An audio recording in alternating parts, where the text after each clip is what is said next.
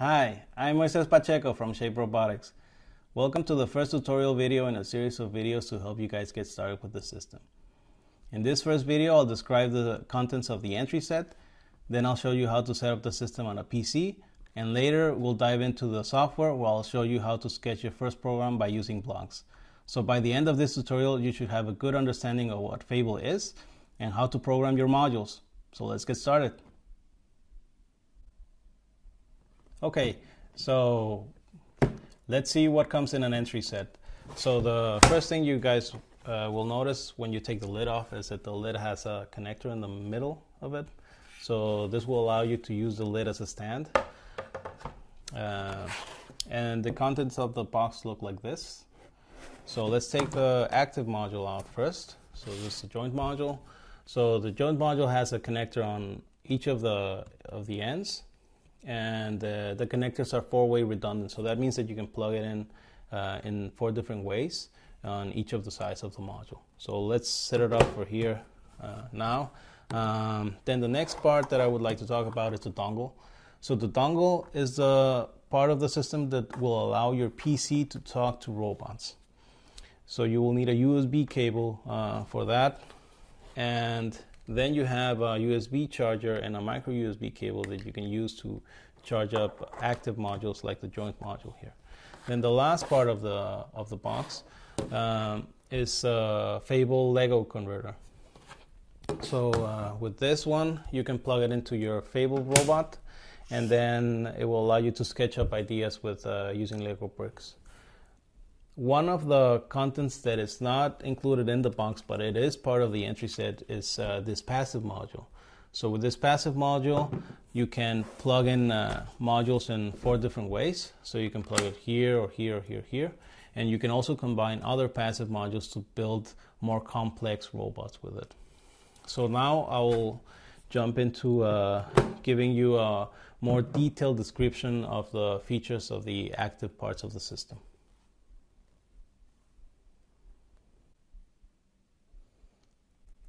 So let's dive a little bit deeper into what the joint module can do. Um, on the back side, it has a switch. So if you turn it to uh, the left, then that means that you, you turn the module on. So you can see that the button here shines in a red color. So if you press it, you can change it uh, to different colors. So what this means is that each of the colors represents a radio channel. So you can pair modules by putting things in the same color. So if there are several modules, like this one over here, and they're both of them are in the pink channel, then that means that you can control both of these modules with a pink dongle. And if you change some of the colors, then you can control them with a cyan or light blue uh, dongle. So this allows us to build teams in a classroom environment. So there's a pink team and a blue team and so on. Uh, another feature of the joint module is when it's off. So if you switch this uh, switch back to its uh, off position, then you can press the button and it will tell you the battery level. So this one is telling us that it's fully charged because you can see that it's uh, there's a green light, while this one here has uh, almost depleted battery. So you can see the red color on the button.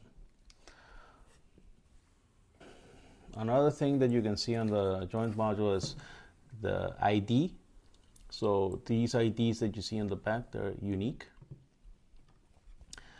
So and uh, this one is called TPA and this is called RPA. So when you're coding, this name is going to be important because that will determine which module will do what part of the code. So which which module executes what.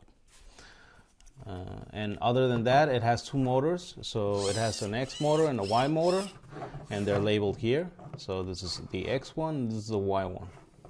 And each of the motors receives uh, orders in the degrees of uh, plus and minus 90 degrees. So this is uh, one end and the other. Right? So that concludes uh, the features of the joint module. Okay, so now we're gonna set up the system uh, on the PC. The first thing we have to do is we have to plug in the dongle into the computer. So let's put the USB cable on the dongle, and then let's plug it into the computer's USB port. So as you can see here, the dongle ended up lighting blue. And if I turn on my joint module, you can see that it ended up lighting uh, pink. So what I have to do is I have to put the dongle and then uh, press on it till I can see the same color channel. And once I match the same the same color, then that means that they they're connected. Um, I can do also the other way around, where I can try to pair the system by using by pressing the joint modules button. So now that they're in the same color channel, they're paired. So let's start uh, to dig into the software and start programming. So now that we're on the PC, the only thing that you have to do is you have to double click on this Fable icon to launch the software.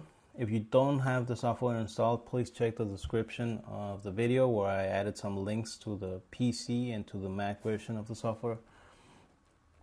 So the first thing I would like to talk about is the menu bar and where we have a, run code button and we also have a save code, an open file, a delete code, uh, settings and then the camera so you can have access to the webcam on your laptop or PC if you have a USB uh, enabled one.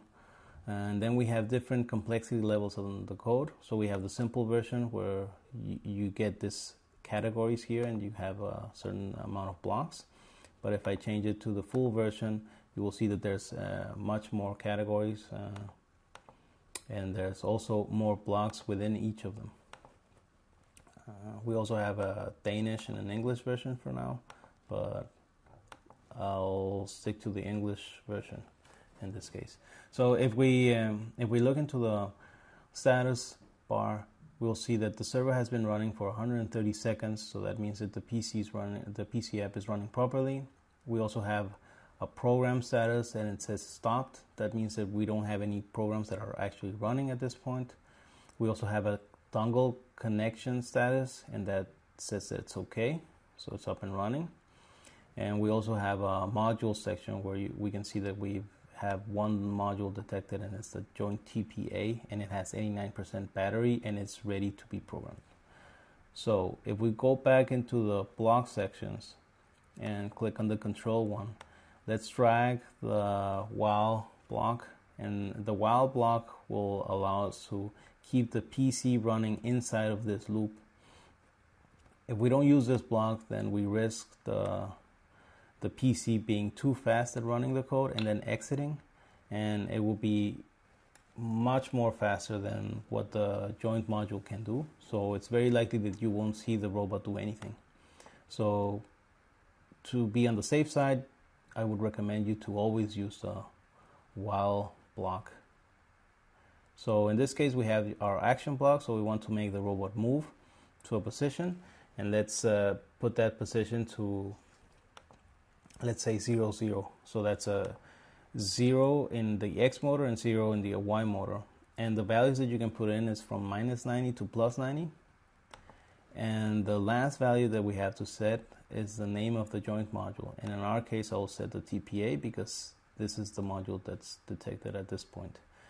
So if I press play, what I should see now is that the module will go into a straight position. So that's a 0, 0 position. And I'll stop the code for now. And then I'll add an extra block because I want to make the robot move back and forth between two different positions.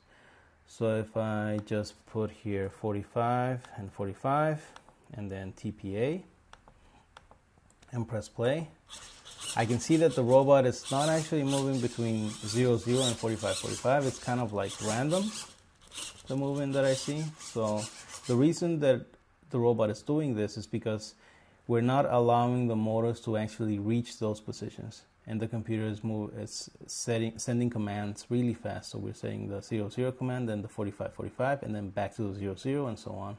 And this is why we see this random movement. So if I put a wait block in between both and also I put it at the end of the loop. That means that when the PC is reading the code it will read move to the 0 0 position then it will wait one second then move to the 45 and 45 and wait another second. And then it will go back again into the first block and then read it. So it will always have one second in between each of the actions. So if I press play, now I should see the robot actually move back and forth between these two positions. So I'll stop the code for now and then I'll save it as lesson lesson 1 Thanks for watching. This concludes our first Fable tutorial. If you have any questions or suggestions, let us know in the comments below. To keep up with the latest news on Fable, subscribe to our channel and follow us on Twitter and Facebook. You can find the links in the description video. Have fun, and I'll see you next time.